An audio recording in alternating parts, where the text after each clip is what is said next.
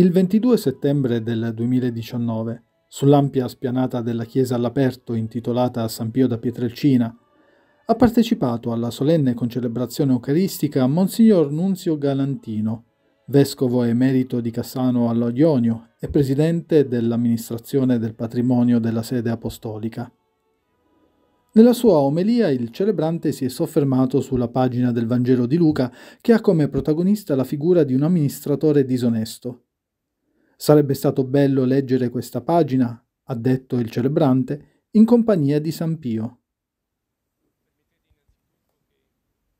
Devo dirvi che mentre preparavo un po' questa mia riflessione, pensavo come sarebbe stato bello veramente per tutti noi ascoltare o riascoltare questa pagina del Vangelo in compagnia di San Pio, lasciandoci guidare e illuminare dal modo in cui egli stesso di fatto ha risposto all'invito che sta proprio al centro della pagina del Vangelo di oggi. Avete sentito? Abbiamo sentito, fatevi degli amici con la ricchezza.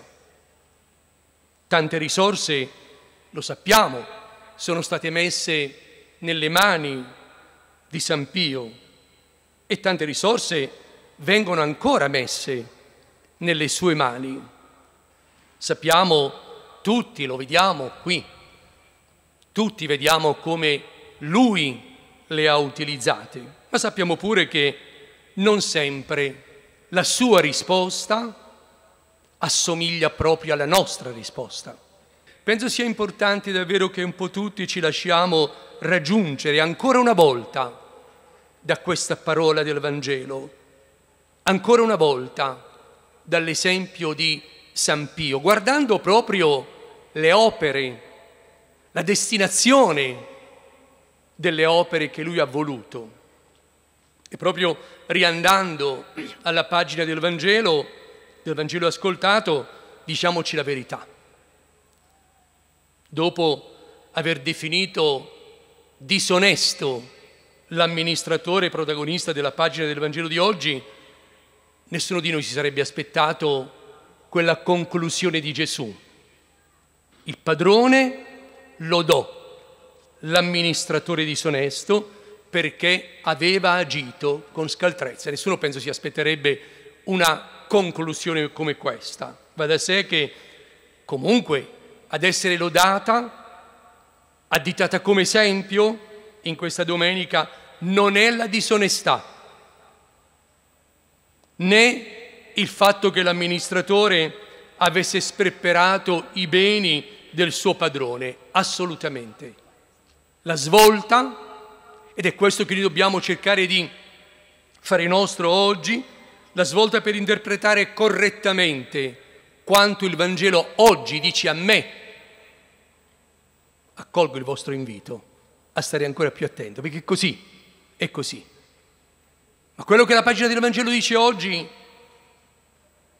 certamente vuole invitarci a dare un senso nuovo, un senso diverso a quello che tanto o poco noi possediamo, tenendo presente, tenendo in conto che in gioco qui non sono soltanto le ricchezze materiali, che qualcuno potrebbe dire, insomma, non vedi come sto inguaiato, come sto messo male.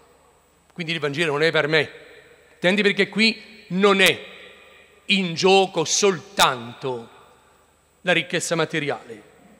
Ricchezze sono anche l'intelligenza, la cultura, le diverse capacità che ognuno di noi certamente ha le sensibilità che ci animano, tutte realtà che amministrate male possono degenerare in arroganza e in presunzione.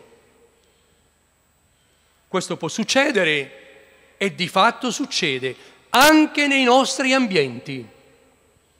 Perché?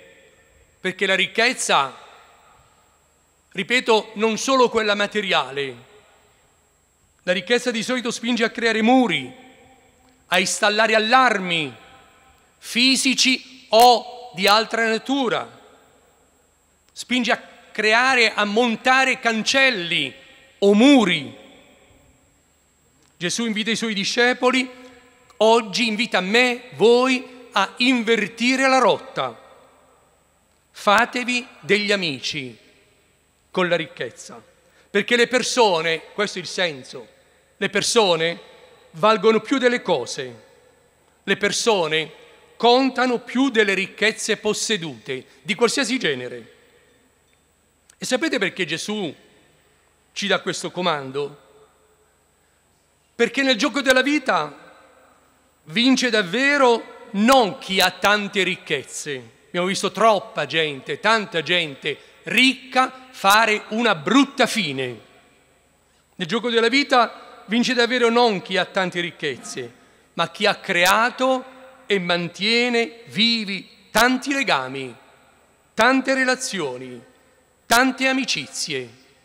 Insomma, le relazioni valgono più dell'accumulo. La vita buona del Vangelo cresce laddove la sobrietà prende il posto dello spreco e scelte solidali sostituiscono progetti orientati solo allo sfruttamento, al rifiuto e al disprezzo cinico dell'altro e dei suoi bisogni, di qualsiasi natura essi siano. Ad accoglierci, se saremo capaci di trasformare le ricchezze in strumenti di comunione, non ci sarà Dio. Non ci sarà Dio, dice qui il Vangelo, ma coloro ai quali ci saremo legati amministrando bene quanto il buon Dio ha messo nelle nostre mani. Io direi che un po' tutti dovremmo pensare a questo fatto. Tante volte anche nella mia vita di parroco mi sono trovato a incontrare situazioni di difficoltà di ogni genere. Ma sapete un pensiero che mi veniva sempre? Era squisitamente egoistico. Dico, li aiuto queste persone, così almeno che vado dall'altra parte. E il Padre Eterno dice a me, ma tu che vai trovando qua? Spero che qualcuno che ho aiutato dica, fallo entrare, lo conosco io a questo. Penso che dovremmo un pochino capirlo. Non è il denaro né altre ricchezze di cui disponiamo ad aprirci un varco dopo la morte. In un certo senso però possiamo mandarli avanti questi beni, Possiamo mandarli avanti queste ricchezze, oltre la vita terrena, utilizzandoli, ripeto, per creare legami, legami nuovi e relazioni per le quali vale la pena spendersi. E chiudo ponendomi e ponendo a voi quella domanda che è anche così forte nel Vangelo di oggi. Avete sentito? E ora cosa farò? Si domanda angosciato l'amministratore trovatosi in cattive acque. Ora cosa farò? Una domanda che assomiglio tanto alla domanda che può sorgere dentro di noi dopo aver ascoltato questa parola del Vangelo. E ora cosa farò?